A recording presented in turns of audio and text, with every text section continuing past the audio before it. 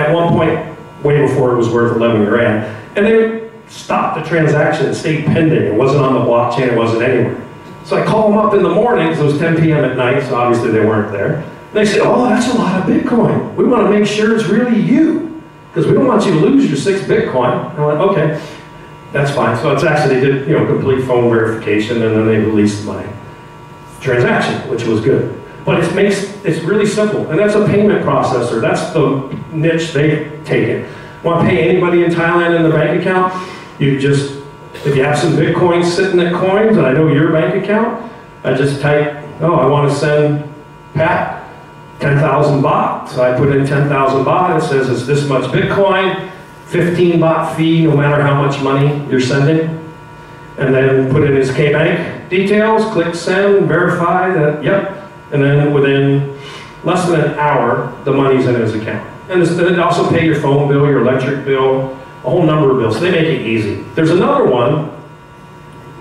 Skip through. Oh, this one. bxin.in.th. This is actually an exchange. Good news is they let you do all kinds of things. The bad news is they don't take Americans. No American citizens, no American permanent residents, no people accessing from America. So it doesn't do me personally any good, but no, my wife can sign up for an account. Because then, again, it makes it easy to get other cryptocurrencies if you want them. And they they also have the ability to withdraw baht and things like that. So they're, they're pretty good and pretty easy. Easy to buy, easy to cash out, covers major cryptos, but like I said, this one, for me personally, is kind of bad. Now, obviously I have a Thai wife, so I can get around that one, but it has to be her account, her selfie, her verification, because get verified for any of these things. You want to trade Bitcoin, you want to trade crypto on any exchange, you're going to hold up a selfie with your passport next to your face and hope it can read it. My friend has a Canadian passport. His computer, after seven tries, he could not get them to accept the picture. It didn't pass. We had to use my computer to get his selfie to work so he could get his account verified.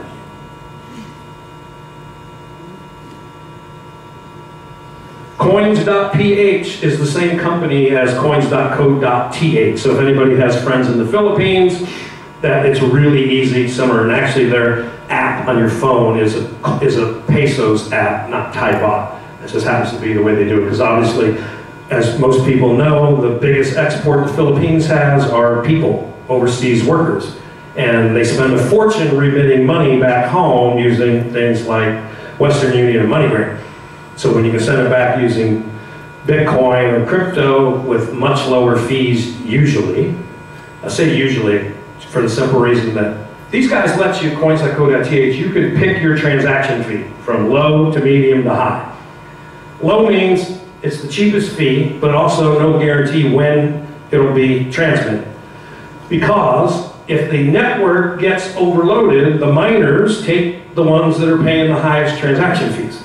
So it can take time for transactions to get verified in the Bitcoin world. So don't get upset when you send somebody Bitcoin and after 10 minutes they go, where's my Bitcoin? Where's my Bitcoin? So chill out, relax. You know, it's a network thing. There's no guarantee you're going to be in the next block. Bitcoin is not good for instantaneous payment. So it could take hours. But I had transactions, someone said I had to get it there, so I paid the highest fee, and the highest fee cost me 26 bucks. Not real convenient paying 26 bucks transaction fee if you're buying a Starbucks for five bucks. But that's why there's other cryptocurrencies out there.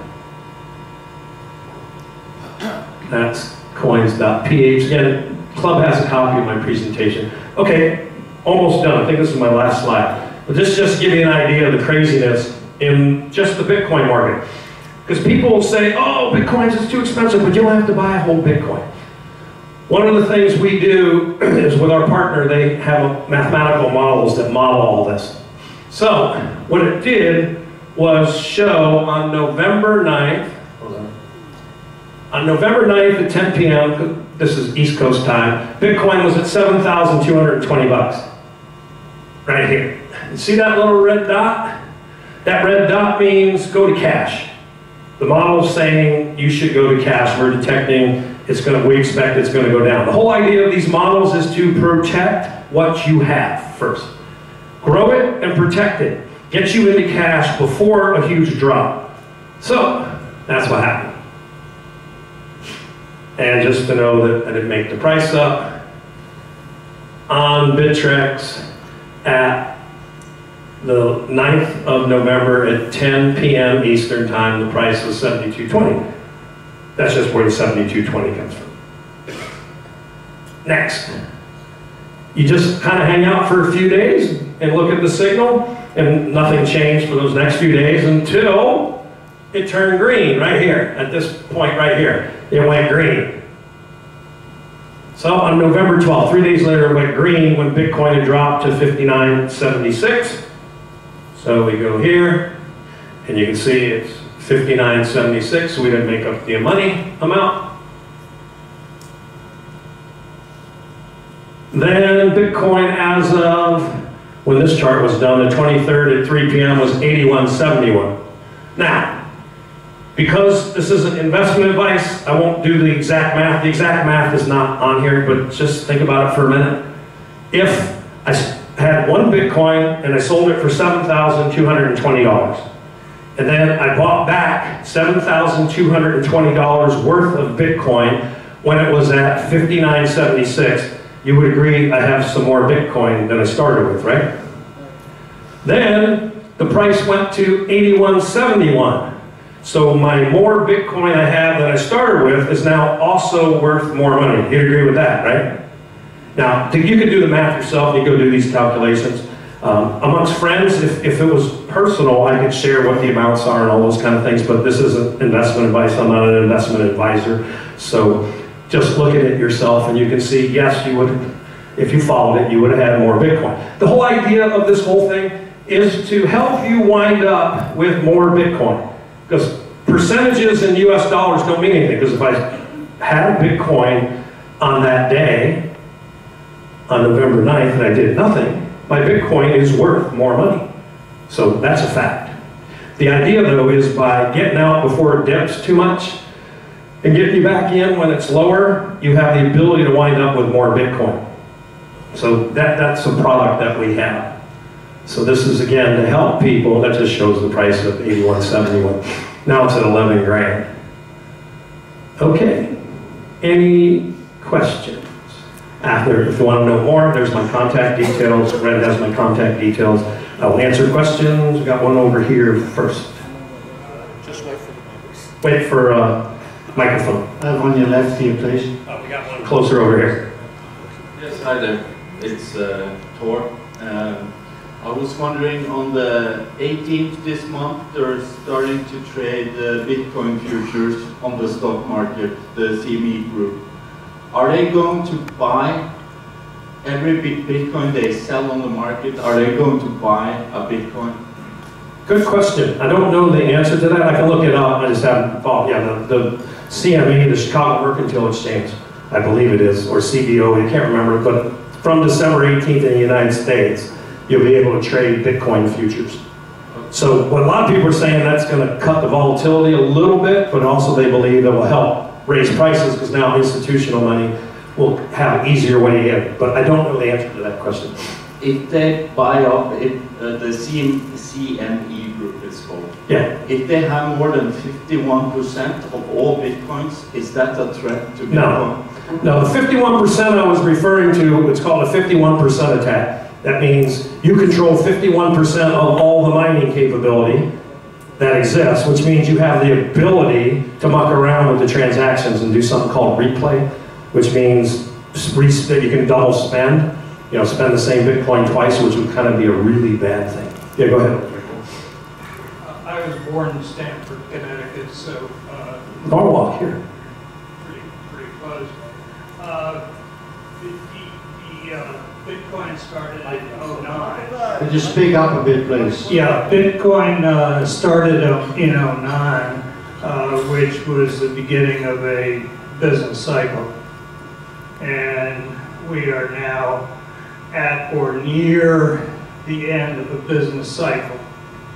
Now, explain to me as best you can what the reaction of Bitcoin is going to be in a business cycle which is on the downtrend.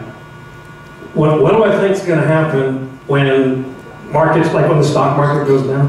A business cycle. In general, yeah. Stock market plus reset, just the whole, I know, you can't be in growth forever. Um, I think Bitcoin will have its ups and downs, but I think personally, it will go up. People will move out of, this is my opinion, and this is what a lot of other people who make way more money than I do uh, are saying that they feel Bitcoin, you know, they're predicting $100,000 Bitcoin next year, a million dollars potentially in the next five years. That's what they're all saying. Uh, Have you thought about the probability, possibility of a electromagnetic pulse and what it's, uh, what problems Bitcoin's gonna have with that? Yeah, if there was an EMP and it wiped out a whole bunch of computers, that, now, here's the good thing about the Bitcoin blockchain. You have to wipe out every single computer that exists that has that blockchain to kill Bitcoin. As long as there's a copy, you have, because every single mining computer has a complete copy of every record back to 2009. So you'd have to wipe out all the computers. Now, if there was a big EMP, it sure as heck would screw up Bitcoin, but uh, I think if there was an EMP, we'd have a lot more things screwed up besides Bitcoin as well. So that would not be the only thing. But yeah, it would be a big mess for Bitcoin for sure. It'd be a big mess for anything driven by computers. Or, Uh, Yeah, hi, good morning. Um, yeah, I started in Bitcoin a couple of months ago, I put $200 in. eToro.com, you probably heard of it. yes, I'm Double my they, don't money. take, they don't take Americans either. Double my money in, in, in five weeks. And, uh, from then, though, what, what you haven't talked about, and I, I've got some in the Swedish uh, stock market. Uh, you can put it in euros or kronas, and also I have some in dollars. Uh, I don't seem to find anywhere I can put it into pounds. I do it through my stockbroker in London into euros. Uh, that, I have a couple of other questions. How come, when all the computers, it uses so much power that apparently, uh, you know, some of these small countries, it, it's, uh, uh, the power is as much as some of these small countries. So what happens when it gets bigger? That's the other question. and the third one, I'll try and keep it, um, was uh, if people are talking about it going up 10 times or whatever, I mean, to my mind, most of the money's already gone in it because you've got uh, Julian Assange has gone up 50,000 bahts because he couldn't put his money into banks, so he put it into Bitcoin. Uh, you've got all these uh, very, very rich people put in, so I think it's going to slow down a bit. But I think it has a future, and I think we can pay, we will be able to pay for things in Bitcoin. I know there's already hundreds of thousands of customers or, or shops that will take it. yeah. Okay, let me answer your third question first. The reality is all the big returns have been made in Bitcoins. It went from pennies to $11,000. 11,000 bucks to 100 is only 900,000 is only nine times. So the big returns have all been made in Bitcoin. I mean, the guy, I'm talking, you know, 10 times, 100 times, 1,000 times your money. That's, that's the answer to that question, you know, 100% correct on that one. There's still money to be made in Bitcoin and people should have it. It's becoming more like a more normal asset class that everybody's used to. With still significantly more returns than most things, but not the crazy money. Now, the power question, yeah, I read that. That's why a lot of the newer coins out there other than Bitcoin uh, use different algorithms that don't require as much computer capacity and how their how their coins are created is different. Yeah, but Bitcoin mining, like I said, you know, one Bitcoin at the moment is about a thousand bucks worth of electric power. So yeah, that is that is an issue. That's why places where mining is popular is where power is cheap. And I didn't quite understand your first question, but on forex, uh, I'm not sure. We actually have forex signals, much like the ones on Bitcoin, Litecoin, and Ethereum, but we don't touch anybody's money. You do that, and I'm not exactly sure where, where you can get easy access to forex. Who was the next question right here? Fantastic talk, really enjoyed it. Okay. Bitcoin is now around $11,000, and let's say it's going to go to $70,000. So, isn't it much better to buy a, a currency or a coin for a dollar, expecting it to go to $7? We get the same returns. So the question that everybody's asking on the internet, YouTube, whatever, is which is this small, smaller um, coin which you want to get involved with, which you could buy now for a dollar, ten dollars, twenty dollars, and it will go up to five hundred dollars, a thousand dollars within one year, five years. So if Bitcoin to go, the others will also go. If Bitcoin will suffer because of government regulations, the others will also do it. Can you talk a little bit about that, please? Let's see, how's my crystal ball working? That's what the question, no, the reality is, it's a heck of a lot easier to take a cryptocurrency from 10 cents, 50 cents to 5 bucks or 10 bucks. I mean, if you actually knew how, how to do it, it's not that difficult. It takes money. but then you gotta be able, to, people gotta be able to cash out and things like that. It looks a lot like penny stocks. Anybody's ever familiar with the penny stock market? you know, the, all of these non-Bitcoin coins, all the cheapy ones, you know, behave very similarly. So you gotta worry about liquidity, you know, how much you have, how much you hold relative to the total. Because like, you can do initial coin offerings and fund these new things. And you can wind up with 100 million coins that you paid a tenth of a cent for. So you didn't spend a huge amount of money in total, but you got all these coins. But, and then it gets to 20 cents. But if you try and sell a lot, any significant selling because there's not huge volumes every day, you blow the price up. So yeah, it looks like on paper you're a gazillionaire. You have 100 million of them and you got it to 50 cents, so you have 50 million dollars in theory. but you try to start cashing anything out, you crash the price. So that's what people have to worry about. But your statement that is true, um, it's going to be a lot easier when some of these secondary ones, you know, some of the ones below the top 10 that sell for way less than thousands of dollars to go up in value substantially, just because it's a lot easier to go from 20 cents to a buck. Just, it's a psychology thing. Of course, what most people don't realize in Bitcoin, they say, oh God, how am I going to get any Bitcoin when it's 100 grand? Bitcoin goes to decimal places. It looks funky, I know, having 0.0000001 Bitcoin. But at 100 grand, that's a penny. So Bitcoin has to get to a lot of money before you know you can't use it for relatively small transactions. It doesn't go to eight decimal places. But the answer, you know, some of the good ones, look for the use case. Why does that coin exist? Like for instance, you know, I've mixed emotions. You ask which one that's not priced super high that has a chance to go up.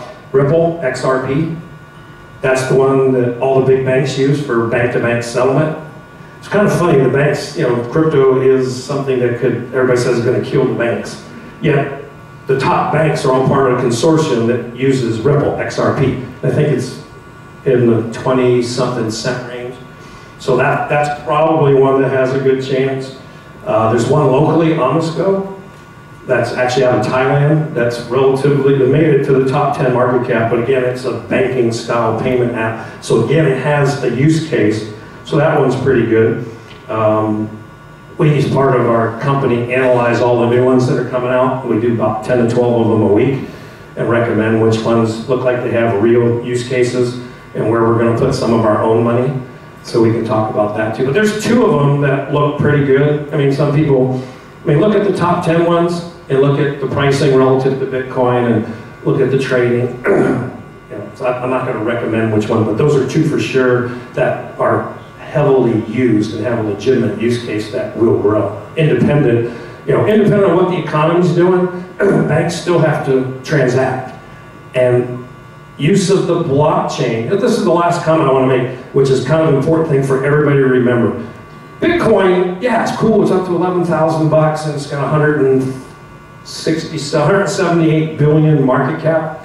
That's wonderful. But it's the, the underlying technology called the blockchain. That's where all the huge value is to the world. Because it doesn't have to be a, a currency to do anything. Next question. I just want to say another One thing. last question, please. We've Just one, one more thing, one more thing. 0.3% of all the electricity in the world is used by Bitcoin mining. 0.3%. 0.3. Yeah, point, 0.3%. Point, Amazing. Yeah. That's significant. Okay, right here. Yeah, I- I've actually got two questions. Say I have a PC and I've got a hardware wallet on my PC.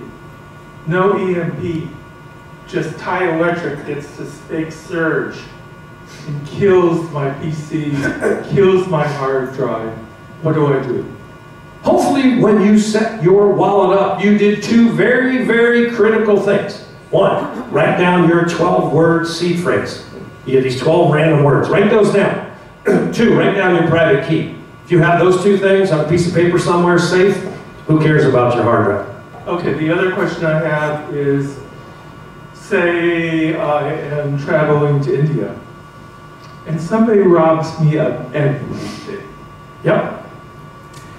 I can call up my V, and I can call up my Visa people and say, send me a new card. Talk to them for a little while, and they'll send me the card without too much trouble. Yep. What do I do if all my money is uh, is from my mobile phone and um, it's Bitcoin? if you have Bitcoin and you know where you're keeping your Bitcoin, again, if you have that 12 word key phrase or you remember your private key, Everything was stolen. those two things should never be stolen. Your friend have it. You met your friend.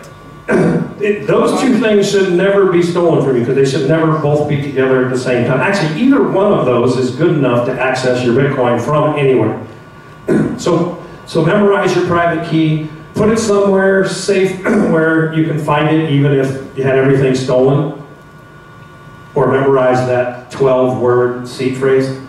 So that one other point, you bring up a good point though. Now you hear about these Bitcoin gold and Bitcoin this, Bitcoin that, and they say, oh yeah, we need your 12 word seed phrase to give you your free coins. First rule, move everything out of whatever wallet is tied to the, that seed phrase and private key and put it in a brand new one. Then you can give up that key and get your free coins. Because if you give up that key or you give up those 12 words, they have control of your Bitcoin account. I think we had one last question. Um, I know quite a few people, in, or we've had conversations with people in town that have actually been trading Bitcoin into various coins and so on and so forth. And all of them have lost their money, not from a bad trade, but mainly because they can't get their money out of the foreign exchange, either because there's uh, verification of their identity or the company goes away or whatever. How can you possibly know which companies are safe to deal with so you don't lose your money? That seems to be the theme, that odds are really high you will. Yeah, that's a good point. I know some people have had difficulties like with Bittrex and verification and then sitting to get verified and I want to get my money out. They accepted my money, they accepted my KYC document to get in, but getting out's a lot harder. Uh, Google is your friend. I mean, Google it and check and see. There's forums, bitcointalk.org talks about all this stuff. Reddit, Medium, all those three will help you. You can figure out, there's threads all over the place where you say, oh my God, I'm dealing with XYZ exchange, I can't get my money out. So, I mean, that's how you find them. And I have a friend also who had a lot of money in Poloniex, which is a US exchange. And their support team was 6,000 tickets behind. So he had $600,000 tied up for six weeks. He could trade, but he couldn't get anything out. Anyway. But yeah, you have to look for that. Okay, I'll be around for a bit for more questions. I think I'm over time already. Please give Dan a big hand. And uh, thank you for uh, such an informative talk on bitcoins, the next cryptocurrency. I've got a certificate of appreciation for you here, Dan, if you'd just like to step down here. The knees go. Please go, hip, go. I broke my hip for a few years ago. Thank you very much. Okay, thank you, And will you still be around to ask any, answer any questions after the meeting? Yes. So if you've got any you. Questions, not too long, so everybody can get a go, uh, see there after the interview.